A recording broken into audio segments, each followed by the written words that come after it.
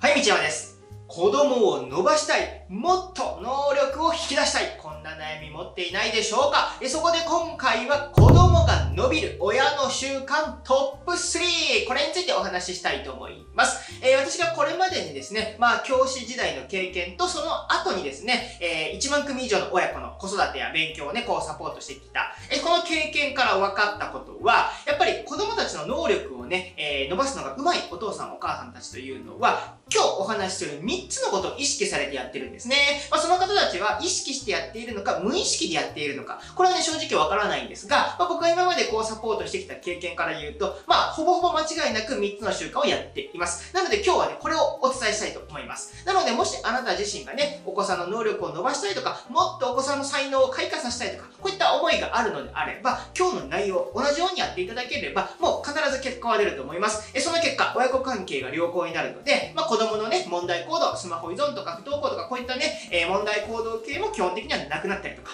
あとは子供が自ら勉強するようになって高校受験に受かったりとか、えー、こういったね、えー、すごくいい面がたくさん出てくると思います。えー、ぜひね、参考にしていただければと思います。では、まず最初にですね、一つ目、子供の機嫌を考えるということです。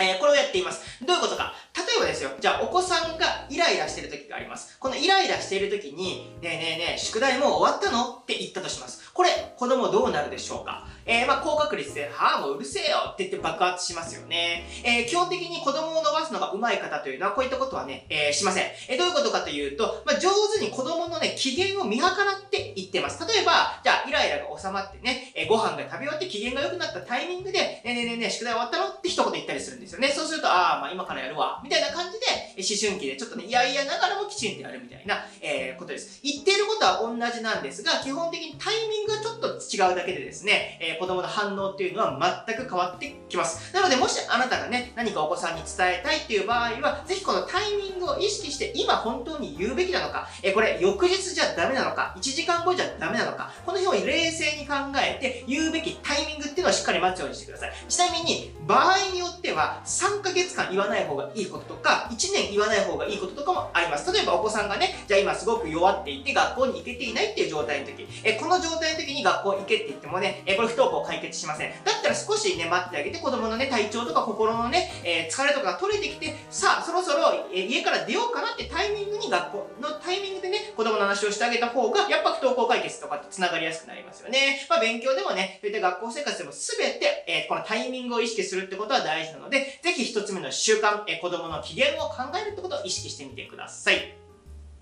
はい、えー、次に2つ目の習慣です。こちら何かというと、こちらから悩みを解決しないということです。えー、これどういうことかというと、例えば子供が何かで悩みを持っているとします。それが学校関係なのか、進路関係なのか、えー、まあ異性との関係なのか、いろいろあるとは思うんですが、この悩みがあった時に、もっとこうした方がいいんじゃないのとか、え、そういう時こういう言葉かけた方がいいんじゃないのみたいな感じで、つい解決策を言いがちになってしまう。これはね、え、お父さんお母さんだったら多分自然なことだと思います。ただ、ここで子供たちを伸ばすのが上手いお父さんお母さんたちというのは、ここでね、解決策は基本的には言いません。えー、どういうことかというと、解決策が自然に子供が出てくるような持ってき方をします。例えば、じゃあ友達関係で揉めた時にですね、えー、なんか子供がね、なんでうまくいかなんだないんだろうっていうふうに思ってたら、えー、例えばさ、そういう言葉かけたらさ、〇〇くんってどういうふうに感じるのかな？っていうような感じで子供にこう聞くんですよね。そうすると、うん、まあ確かにそれって言われたらちょっと嫌かも、みたいな感じで自分がこうひらめくんですよね。そうすると、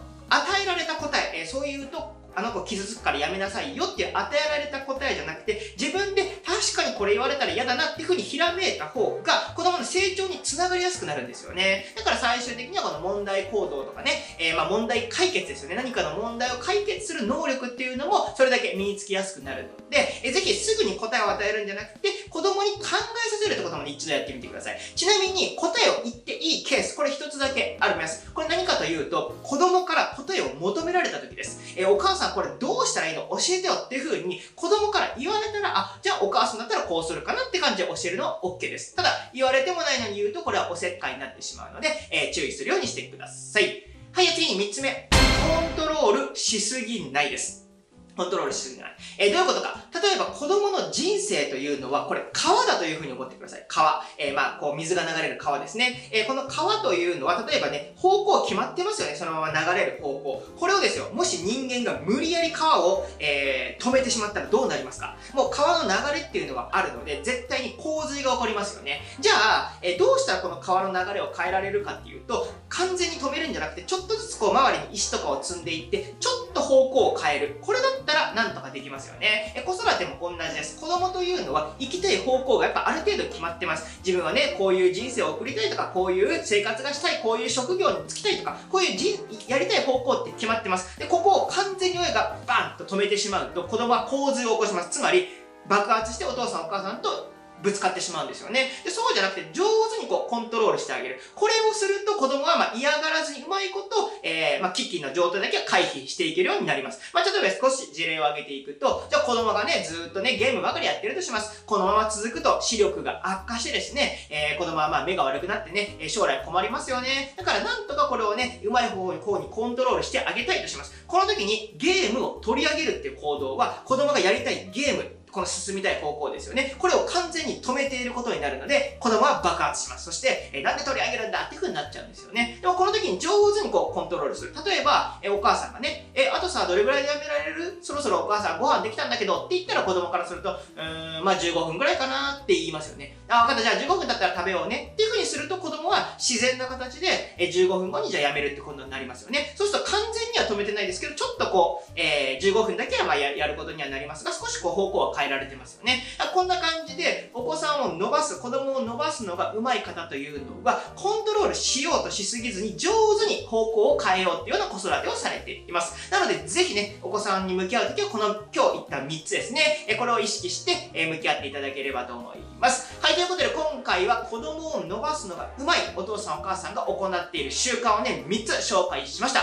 えもうちょっと基本的な概念ですね、え子供との環境を作っていく基本的な概念については、私が無料で配信している思春期の子育て講座、えこの動画の右上からチェックできます。えこちらでもさらに詳しくお話ししておりますので、もしまだ読まれていなかったら、こちらも必ずチェックして、今後 YouTube 見ていただければと思います。